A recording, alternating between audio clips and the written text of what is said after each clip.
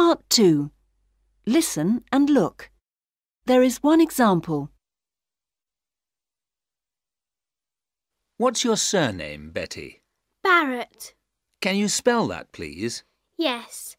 It's B A double R A double T.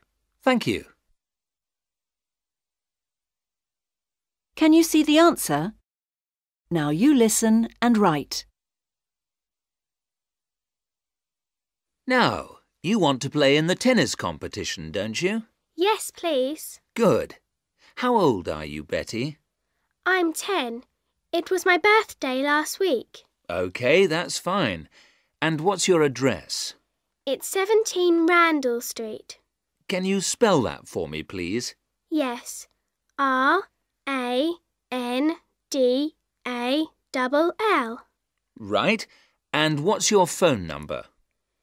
It's eight one O double three four. OK, I've got that.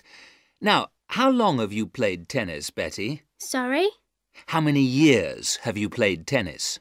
Oh, I see. Four years. I started when I was six. That's good. Now, the last question. When do you prefer to play?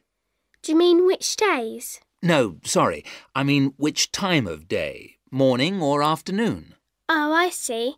I prefer afternoons, please. That's fine. Thank you. Thank you. Bye.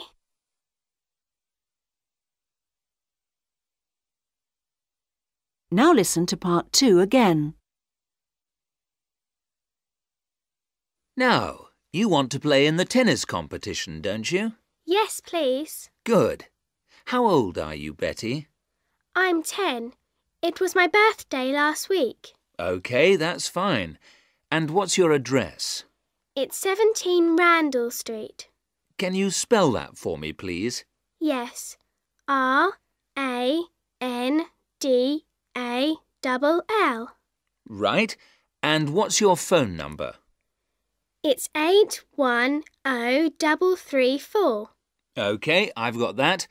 Now, how long have you played tennis, Betty? Sorry? How many years have you played tennis?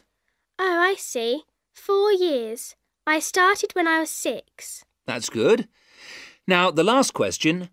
When do you prefer to play? Do you mean which days? No, sorry. I mean which time of day? Morning or afternoon? Oh, I see. I prefer afternoons, please. That's fine. Thank you. Thank you. Bye.